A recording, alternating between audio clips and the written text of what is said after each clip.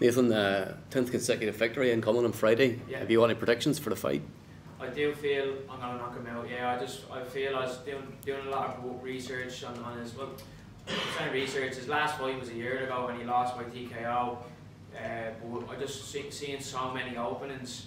He leaves his chin in the air. He comes forward. He's you know he doesn't protect himself in the way he should. And at this level, at this stage of, of, of the of the game, you know what I mean. You can't be making them mistakes. And I do feel that you know, all the work I put in with my boxing coach Stephen O'Rourke the last world, all the work I put in with my coach, uh, MMA coach Dave Roach, you know, we, we, we really like tuned up the striking a lot and I do feel that, you know, all the openings he leaves for me, if I don't take, capitalise on them, I'm just shy, you know what I mean, because I feel like I'm at a certain level now where I have to be putting lads away who are making them mistakes and, you know, the more you rise to the top, the, the, the more holes that you, you have, the more you'll be found out. And I'm just really happy to show, I get another opportunity to show that I'm at a certain level. And when someone is making them mistakes or has them holes, that I can, I can really show and, and, and put them out. You know what I mean? Yeah.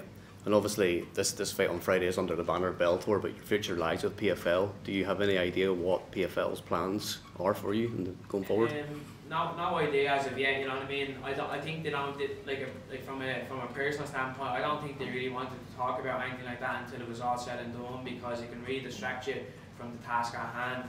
And like I have, regardless of way I think the fight's going to go, I have a, have someone to fist fight with on Friday night. So I think they were happy with me to to you know get this done and then assess what happens because you know if you're if it, even in, from the likes of their, their perspective, they don't want to disrespect my opponent and overlook him and start planning already. Even when I fought on that Challenger series, I was talking to Greg Savage when I was over there, and I was like, this is before I fought, and I was like, Greg, I want to be fighting on that Paris card in June when he went to PFL Joe, uh, uh, Paris card last June or Berlin. I was like hitting all these ideas at him, and he was like, "Will you relax, win, win, win, win tonight, and do your job." You know what I mean? And then we can assess. So I think they just like to take it one step at a time, which you know I'm happy with as well. Sometimes I get a little bit, a bit ahead of myself, and I get a little bit hyper in the ego. So yeah, I'm happy to just take it one fight at a time for now and kind of go with the flow and see what happens next time. You know what I mean? Lovely, thank you.